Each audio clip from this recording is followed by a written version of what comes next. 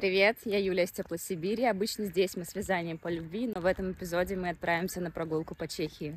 Видео о том, как мы добирались до Праги, уже есть на моем канале. Можете зайти посмотреть и подписаться, если вы еще этого не сделали. В Прагу мы летели из Барселоны, и на этом видео я очень сильно злюсь на сотрудников аэропорта Барселоны, потому что у них все сделано для детей, даже есть детская площадка, но они заставили меня снять тряпочный слинг с кольцами, даже когда там Марта спала, для того, чтобы проверить его. Поэтому мне пришлось вытаскивать сонного ребенка, передавать его мужу и переносить кусок ткани через сканер. Это было, пожалуй, единственное, что меня выбесило. Вообще полет прошел достаточно быстро. Мы летели на самолете Ryanair. Коляску нам поставили прямо рядом с трапом, поэтому, взяв ее, мы сели в автобус, посадив нашего самого главного пассажира на обзорную площадку. В самом аэропорту мы уже ориентировались, поэтому сразу отправились э, в кассу для того, чтобы приобрести себе проездные билеты. Мы отправились вот в такое окно, где для пенсионеров, кстати, очень приятные цены. На себя мы также взяли проездной, который установили приложением на телефон. Он действует на все виды транспорта, поэтому активировав его, мы сразу же сели на автобус и отправились в наш конечный пункт назначения. Доехали достаточно быстро до станции метро, и это было удобнее, чем в такси, потому что Марте постоянно нужно что-то делать. Из того, что меня удивило в поездке на метро, это была группа школьников, рядом с которыми я стояла, можно сказать, прям падала на них, но они делали вид, что меня не замечают и продолжали сидеть в своих смартфонах, не уступая мне место.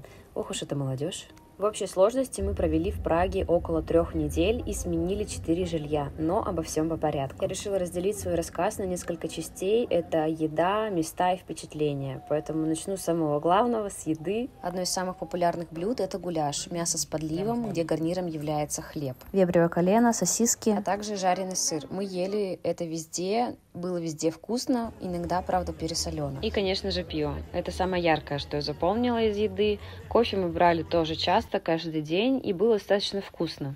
Из туристических явств мы попробовали трдельники. Не то чтобы мы мечтали об этом, но когда идешь по старому городу, чувствуешь, как это всюду пахнет этим запеченным сладким тестом с корицей, и ты уже не замечаешь, как стоишь в очереди, покупаешь себе такой же. Было вкусно, потому что свежее, но сильно сладко. На видео вы видите пустой брецель, но некоторые добавляют туда мороженое, взбитые сливки, да еще и шоколадом поливают. У меня аж скулы сводят от такого сочетания. Прага очень туристический город. Везде мы расплачивались наличными, брали с собой доллары, затем меняли их на местную валюту. Если сравнивать Прагу с Барселоной, то это абсолютно разные настроения. Мне показалось, что в Праге более консервативно, что ли, и очень-очень красиво. Сейчас я буду перечислять места, которые мы посетили и которые нам понравились больше всего. Все они бесплатные. Обязательно сохраняйте себе на случай вашей поездки в Чехию.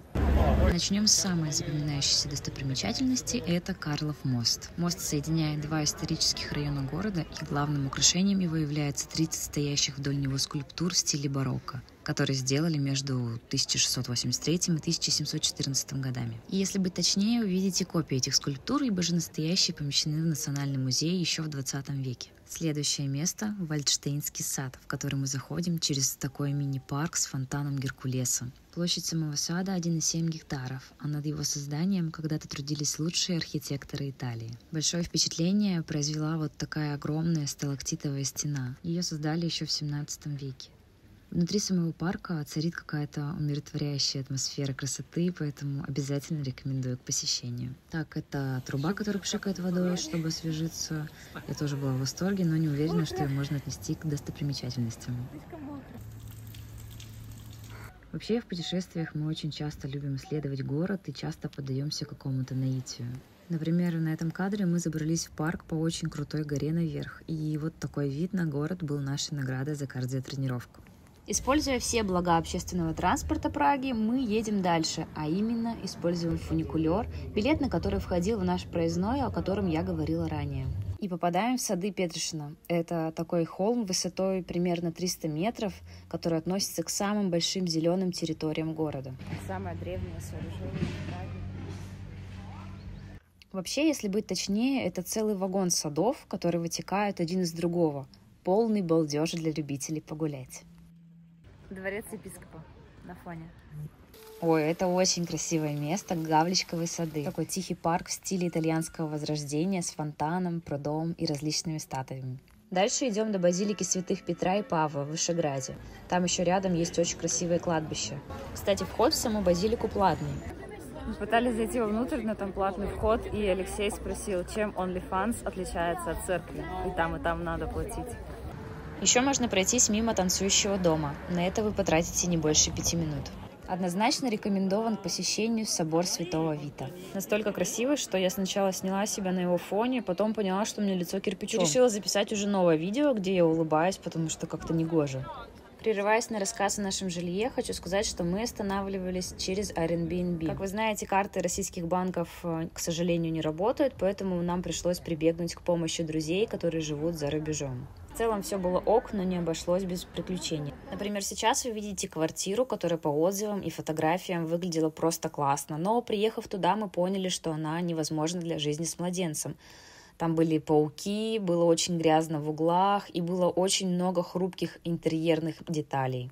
Мы написали владельцу, но он сделал вид, что слышит о таком впервые, что все убирается и все чисто, но оформил нам возврат за оставшиеся ночи, поэтому мы ускоренно искали другие варианты и на следующее утро уже выехали из этой квартиры. Кстати, эту историю более подробно я рассказывала в Инстаграм. Если вы любите такие жизненные моменты, то подписывайтесь на меня в Инстаграм. У меня там такой же ник, как и здесь. Одна из квартир, в которой мы останавливались, находилась в районе Жишков, где находится такая огромная телебашня. По основанию башни ползут фигуры младенцев из бронзы, которые появились там в рамках проекта «Прага. Европейский город культуры-2000». После окончания проекта власти хотели их убрать, но жители настояли на обратном. Недалеко также есть очень атмосферный фермерский рынок и вот такой костел Пресвятого Сердца Господня, который выглядит очень нетипично для церкви. Когда смотрела подборки о том, что посмотреть в Праге, почему-то многие рекомендовали магазин имбирных пряников.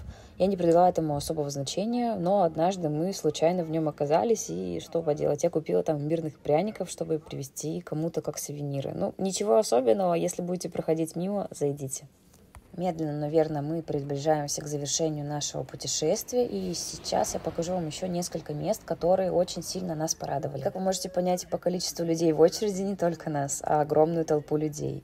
Это Пражский зоопарк. Сейчас я расскажу вам несколько фактов о нем, которые я взяла у них на сайте, который, кстати, сделан на русском, чешском и английском языке, что очень удобно. Вход в зоопарк стоит 330 крон на взрослого человека. У них есть также отдельные тарифы для семей с детьми, с большим количеством детей. В самом зоопарке вы увидите 4,5 тысячи животных, относящихся к 650 видам, а также посетите 12 уникальных павильонов и 150 экспозиций, занимающие общую площадь в 58 гектаров.